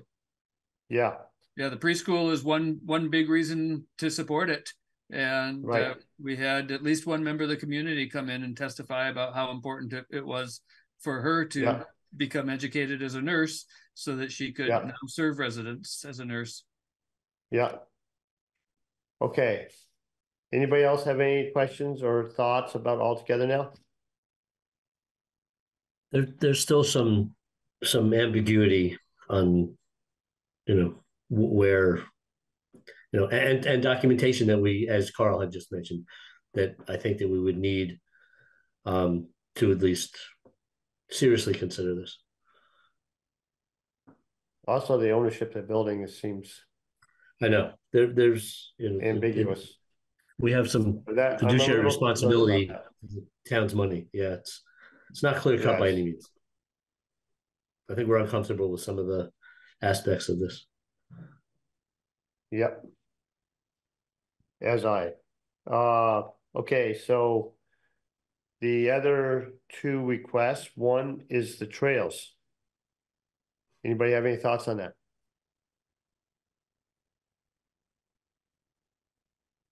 No, No, pretty clear cut. They're, the trails sound to me like a not a bad organization. they're a good investment. Yep. No, I think the parking lot is, serves more people, just to put that out there. Or serves an awful lot of people from a lower income bracket than the sign, than the trails do. But I'm saying the trails is a good, is a good project. I don't And know. then- uh, As someone who has one of the trails go across his land, I, I see a fair number of people out there. Oh, I'm not saying you don't. I, I can't, Yeah, I- I can't tell you what their income is. Well, um, well, I I don't wanna go into that. Yeah. So What about the, now, was it the Historical Society? I didn't believe it was, display cabinets I and think stage San, access. San, San, uh, Sandal's online. She's What's on that? Zoom. Sandal is on Zoom, probably wants to, wants to address this. Sandal Okay. Cate. Yeah, I see her. Hi, Seth. Hi, Carl. Hi, Hi. Hello. Scott, and hi, town office. Anyway, no, I think, I'm hoping that my proposal is really clear. I tried to be as specific as I could be. Um, the, the, the bigger picture is for the benefit of the town in general, because the only place we've ever had um, a spot to display is at the entrance to the town office, and that's certainly not open on weekends. And so we'd like to um, work in conjunction with Four Corners after they get their mold, uh, their mold issues re- remediated. I met with them twice and they're perfectly happy to um, have us set, um, get something built there um, that can store stuff and exhibit stuff. Um, it might take a little pressure off of the storage issues right there at the town office. Um, but we wouldn't move out everything that we have in storage in the town office vault area. Um, it's pretty safe and it's pretty well documented there. But the idea is to have um, some display space so that if on weekends we want to be hosting uh, any kind, any number of events, and we've got some things, as maybe um, Rosie has pointed out, um, in terms of the town's what 175th anniversary, which is like right about this year or and and next year, and um, the Vermont, um, uh, you know, the the um, Declaration of Vermont becoming a state, also being celebrated, I think within the next two years. So we just don't have a space to welcome people on weekends, and if we had a had display materials and display, you know, lockable display cases um, at Four Corners, then we can go back to doing things there. Okay. Any questions for Sandal, anybody? Uh, we had some discussion in the absence of the Historical Society at our previous meeting about um, the connection between the Four Corners Schoolhouse Association and the Historical Society with a background that we have just, uh, we've already allocated thirty thousand dollars from the ARPA funds for the uh, the Schoolhouse Association for improvements there. I'm wondering if you could speak to that, Sandal. Um, yes, uh, his over the years, we have, as an uh, the historical society has paid small amounts of rent anytime we wanted to meet there. Um, and we share a mailbox together, so our our treasurers get along well with each other. Um, we have separate um, uh, treasury accounts, um, and again, we've oftentimes met there, um, particularly before COVID, and now with the with the mold issues, they're not having groups meet there now. So we would a resume meeting there from time to time, and b set up these displays and and, and have more um, open house type events on weekends for any number of you know visitors to come. So th- the displays that you have at the town office right now, those are not connected with the Four Corners Schoolhouse Association at all. Is that Correct. correct? No, not no. It's just something that Rosie has encouraged us to do. Um, and we don't do a, a lot there, but we have right now we have our our saleable materials um set up there.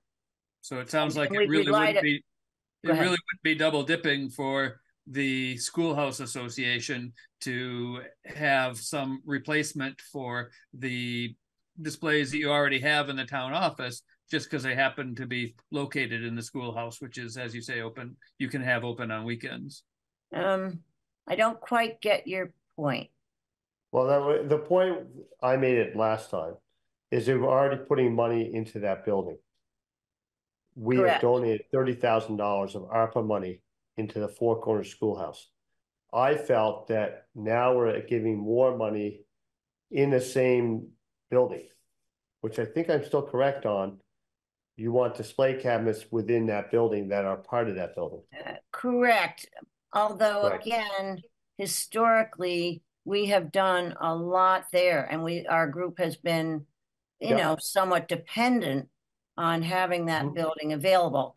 Right now, we hold our East Montpelier meetings in the old brick church, but we certainly can't leave any of our materials Yep. there for display or viewing Right, what have you. S- And um, yeah, and the only other thing we've we've used the Four Corners as a place to keep our computer projector safe there.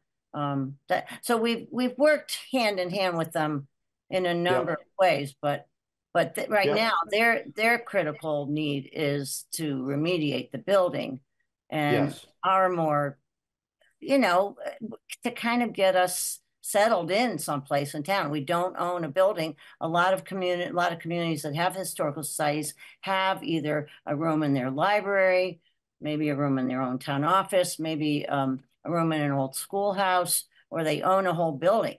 But East Montpelier Historical has has never owned a facility space, and this would at least make us feel like we've got a little corner of town someplace.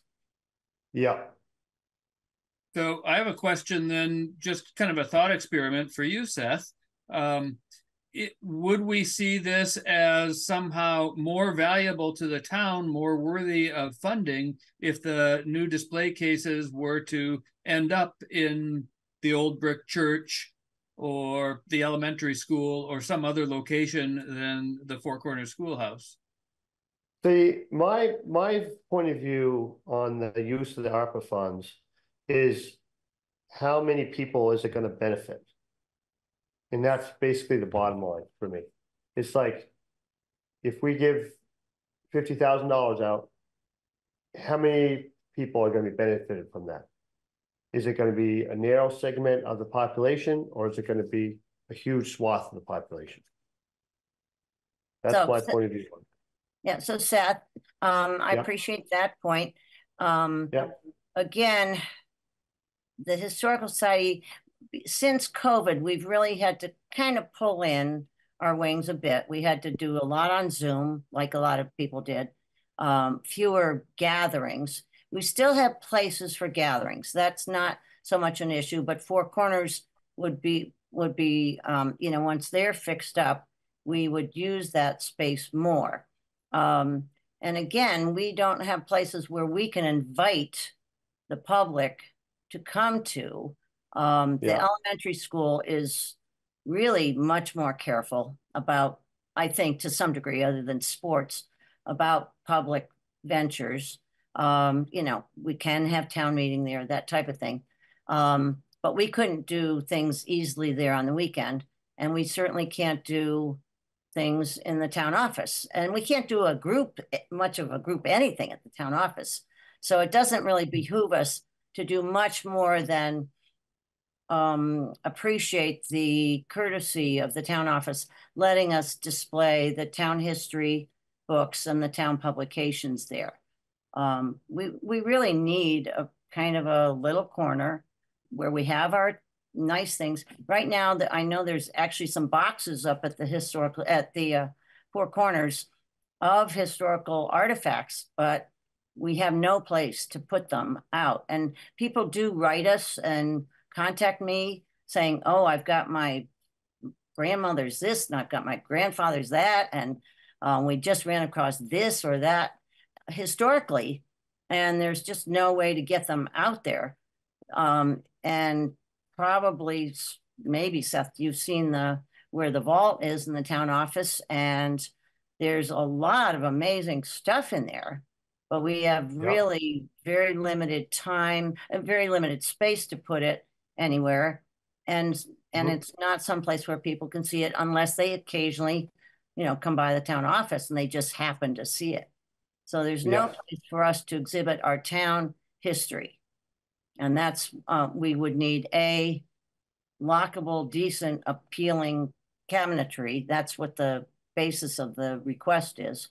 And then we have the clearance with this, with the Four Corners to have, you know, ongoing visit, you know, reasons to come there and exhibits and activities. And again, Ro- Rosie's kind of encouraging us to um, do more uh, to celebrate upcoming anniversaries, both for the town and the state. Okay, so um I think we still need to um clear up a few things with all together now before we make a final decision on this use of ARPA money. So I'm gonna ask the town administrator, put it on our next agenda and we've got to get it done by then. And Yeah, there's only three of us. Exactly. There's only That's three my of point. us here Zoe, right Zoe's now. not here. Yeah, there's three of us, but John's resigned. So there's only gonna be four of us. So, but Zoe's not here. And I'd rather make it as full of board as possible and in I person. concur, I concur, so, so. Yeah, okay, so I'd say we move on. I got a sump pump running in my cellar right now. I don't want it to burn out. Water running everywhere. So anyway, so then we're gonna, we've heard a lot about the ARPA, use of ARPA funds tonight. I think we're all starting to settle our minds on what we should do with it, and we'll make a, a final decision next meeting. Um, so the next item on the agenda is discussion and consideration of resident request to discontinue town right away.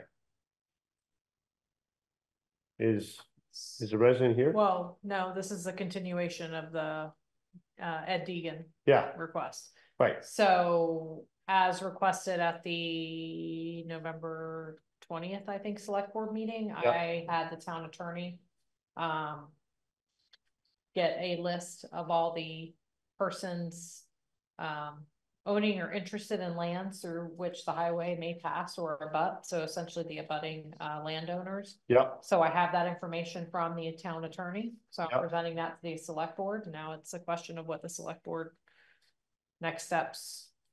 I what's the also next step? included the email from the town attorney on what all we need to do for this request. What's the next step? Well, we would end up having to post and you'll have to schedule a time to examine the premises. Okay, Don't know if winter's a good time to do that or not, um, right now the ground's pretty bare, but well, we have to give thirty days notice. yeah, of the site visit. So there's a whole litany Yeah. of Yeah. things that we need to do. So yeah. I guess another question is, where is this on the priority list for the select board? To jump on now, or where do you want to go with this? Um, so if you give the thirty day notice now. That's not a very good time of year to be walking around up there. Yeah, we have to notice a number of different There's only five people. organizations. No, One, two, it- three. we have to notice the planning commission, we have to. Oh, notice the right. Commissioner of Forest Parks and Recreation. Yeah, why don't we just wait until after we get done the budget and the town report thing? And then we'll put it on our, because February is kind of a dead month. Mhm. So why don't we just put it off till then? Okay. So we can get through all the other important stuff that we have to. Not that this isn't important, but it's just, it's gonna tie us up and we don't need to be tied up right now. Is That's fine with me. that good enough? Yeah, but at least we have the list now from the town Yeah, yeah. attorney, and then we can execute from there. Right. If the select board agrees to do so. Yep. Okay. So we can get rid of that. And the next item is update on East Montpelier Fire Department quarterly meeting. Discussion on East Montpelier Fire Department twenty twenty-five capital request and budget. So most of us went to the meeting. They're asking for some increases. Um, I have some thoughts on that, but uh, I don't know what everyone else thought.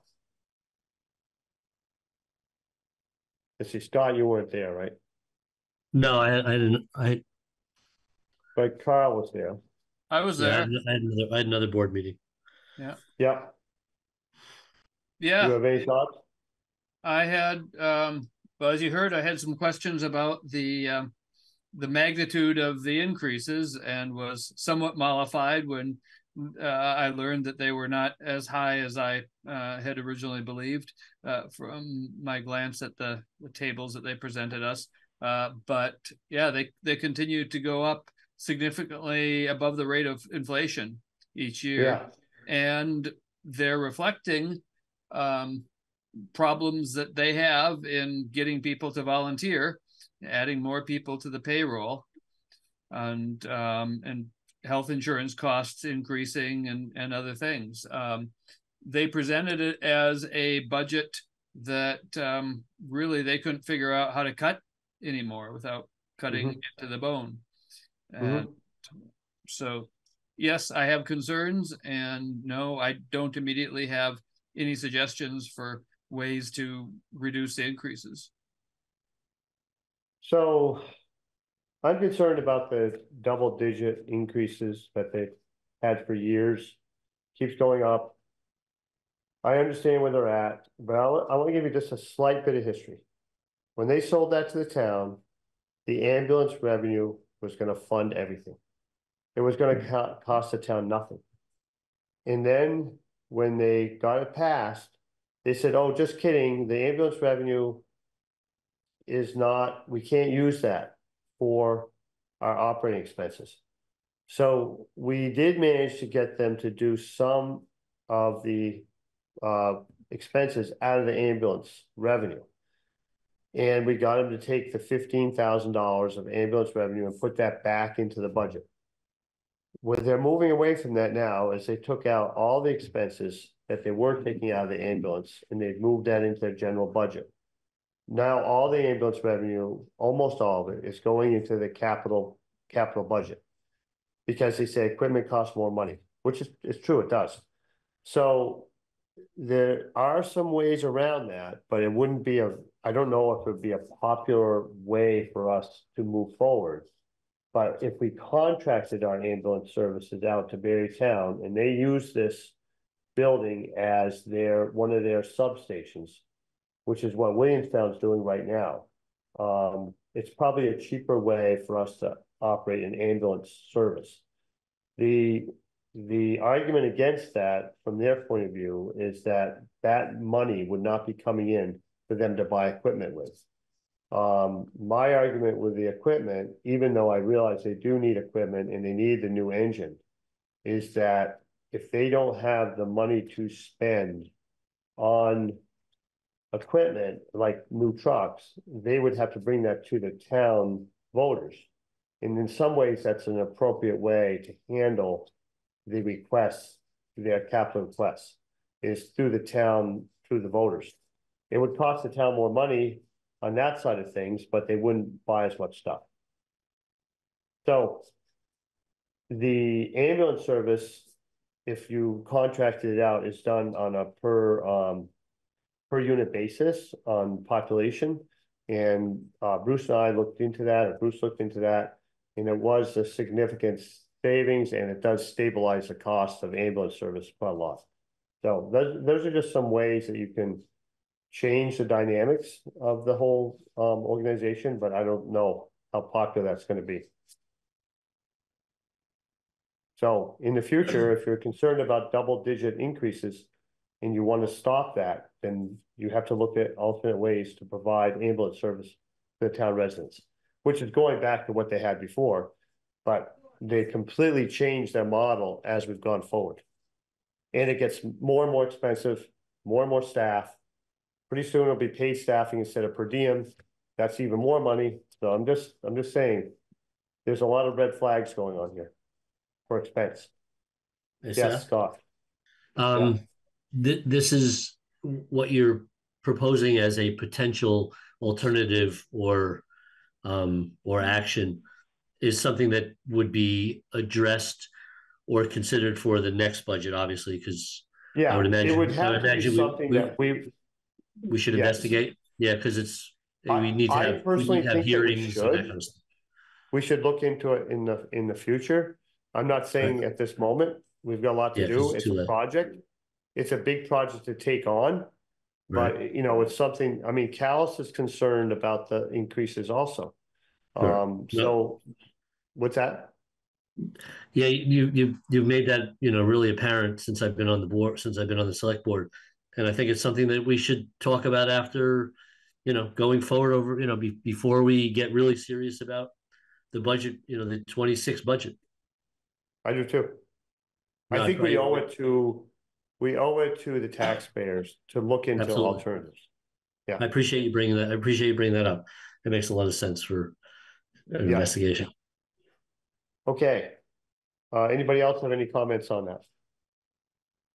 Well, I'll just Nothing. throw in, in terms of the timing, that, you know, we had some discussion at the meeting about revising the interlocal agreement with Calais and the fire department Yeah. to go back to the way it was a few years ago, um, be- and so that it would automatically renew. But in any case, um, you know, there are certain timeframes within that agreement for um, registering a wish to withdraw from the agreement that we need to think about in terms of That's right. moving forward in the future.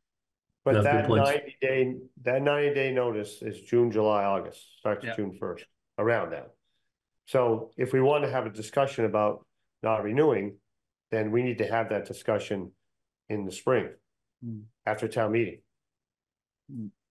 And that's sometimes when we have some time to explore alternatives. And then if we thought, well, you know, this looks like a good idea, then you could give the notice at the appropriate time. So we should keep it on our radar. Okay?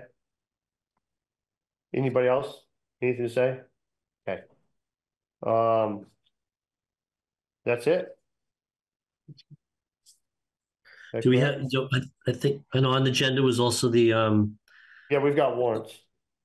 uh, yeah, warrants, and there was also just the, uh, Central Vermont Planning Commission. That's just a letter for recruitment.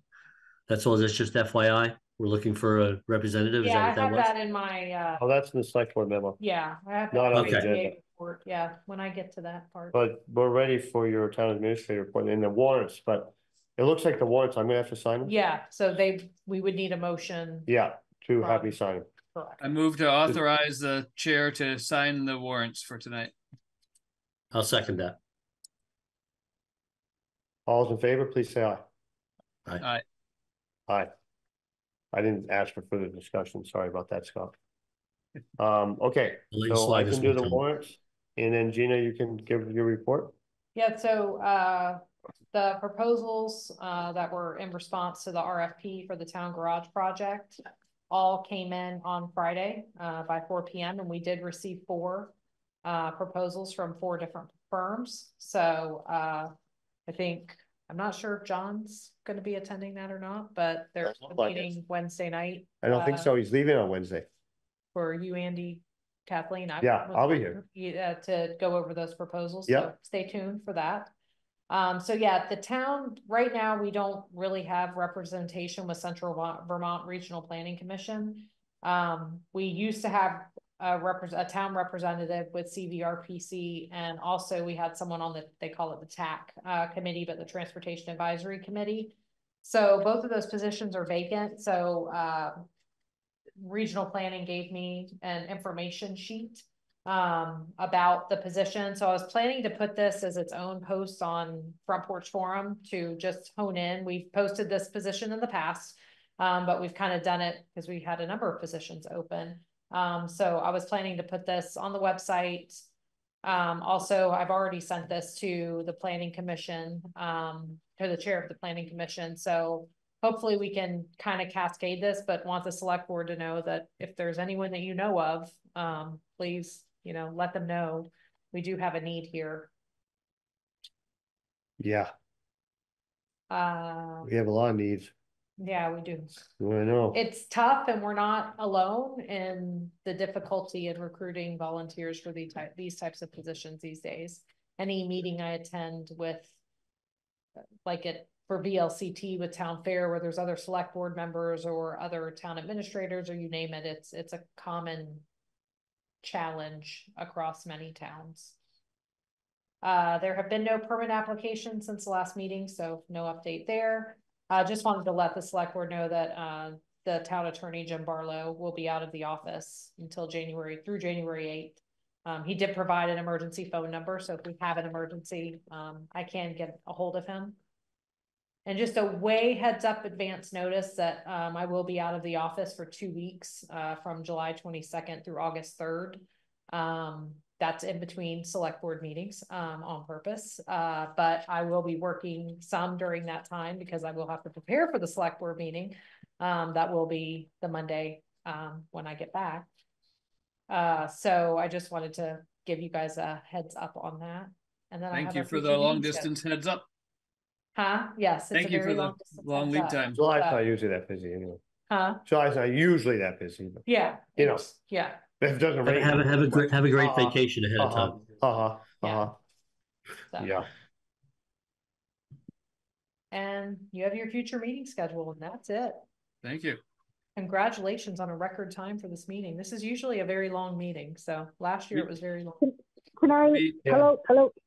Before you wrap it up, can I just ask a question? I was unable to unmute before because I've been having trouble with my Zoom here, but this is Deb Yeah. again.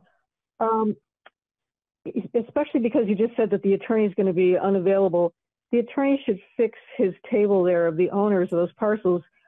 That parcel ID ten oh two five point two, that's the three point two seven acres that you bought, Seth, isn't it? How much is it? How many acres? Three point two seven? No, I bought five point something acres. Five point seven five? Yeah, I think so. Where's the, where's the map? No map? Uh, Yeah. This is his memo. Okay, anyway. We should What just are you get that asking? straight because he, he, he's saying he's, he's looking at the CAI web map on the town's website. And when I saw that, I thought, well, wait a minute, that's only through April 2023. When did you buy the Clark piece? Was that, that was after April 1st, right?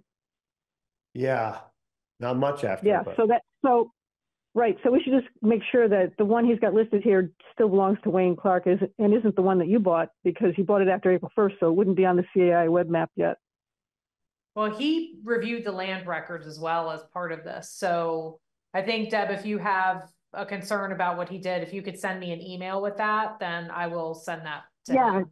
I- obviously Because this, not he did not right now, just review so. CAI maps to do this, he reviewed the Yeah, land records. all right. Well, I, I'm not in the office right now, so obviously I can check and make sure that I know what. I'm- One of those two Clark parcels is one that's three, three and something acres and one that's five and something acres. I think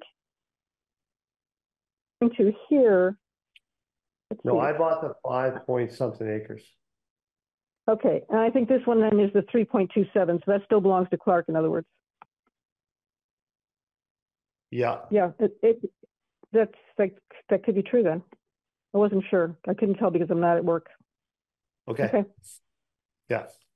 Any questions, just email me. okay. Okay, sounds good. All right, we're done? I think so. I've got other business. Yeah. This, this will Same. probably, this will take less than an hour and a half, so don't worry. Um, Oh, you You have won't- other you- business that we have to talk about. Oh. Trust me, Yeah, you won't, you, trust me, you won't have a quorum with that. Go ahead, The, uh, Yeah, Yeah, the, the issue is uh, the minutes and my uh, ongoing effort to get fired as, as minutes taker. Uh, Seth and Gina and I have discussed uh, put me putting together just really short minutes. I don't want this to land on Gina's desk. Uh, no, it's not going to land on Gi- Gina's. let's And put I- it that way.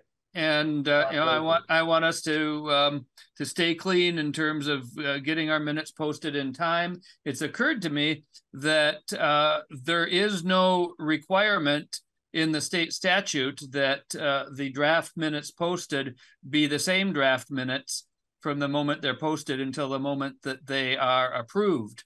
So I talked this over with with Gina today, and um, uh, want to bring it to you guys. What I'm thinking that I'll do going forward is post draft minutes that are very short and conduct and cover everything that's legally re- required, but I can get them out quickly. And then sometime, probably within a week of the the meeting, but not within five calendar days necessarily, post the the more detailed minutes that we have become accustomed to.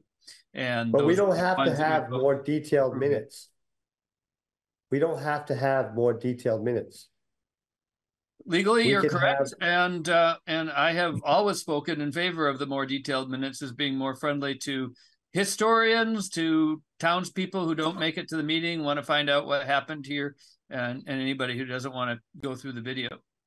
Well, you're, you're, you're putting yourself out there to, for a lot of work. Now, what Yes, I'm saying. I'm aware of that. If we and I would have like to to- go to a default position, which is somebody else doing the minutes, they are not going to be detailed minutes. They are going to be statutorily, the minutes that are required statutorily, and that's it. Because we're, we're gonna have to operate in emergency mode. Which means we have nobody to take the minutes and Gina's not gonna do it.